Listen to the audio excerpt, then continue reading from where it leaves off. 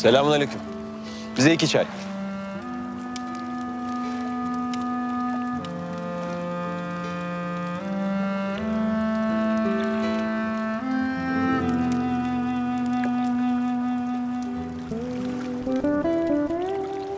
Sevdin mi burayı? Çok güzelmiş. Üşümüyorsun değil mi? Yok ateş var ya ısınırım şimdi. Sağ olasın.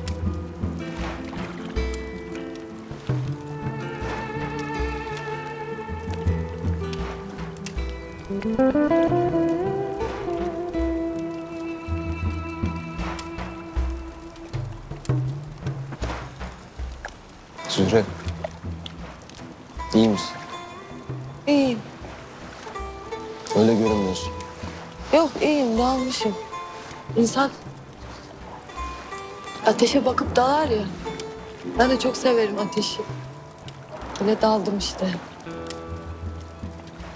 Hatta aklıma bir hikaye geldi. Dayım anlatmıştı yıllar önce. O kadar çok sevmiştim ki ezberlemiştim. Aklımda kaldı biraz. Anlatsana.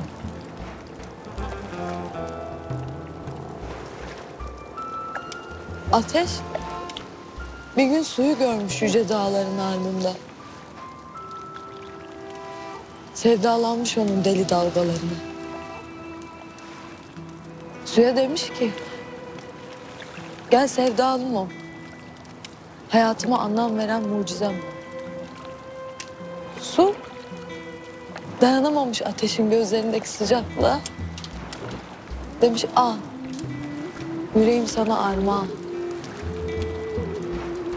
Sıkıca sarılmışlar birbirlerine. Zamanla su buharlaşmaya, ateşte kül olmaya başlamış. Ya kendisi yok olacakmış ya da aşkı.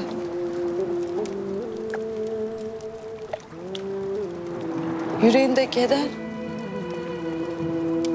ateşi bırakıp gitmiş su uzak diyarlara.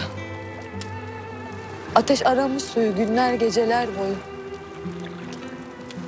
Sonra bir gün gelmiş varmış suya yolu.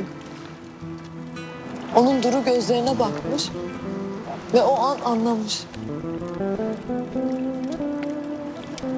Aşkın bazen gitmek olduğunu ama gitmeni yitirmek olmadığını. Ateş durmuş. Susmuş. Sönmüş aşkıyla. O zamandan beridir ki ateş sudan, su ateşten kaçar olmuş.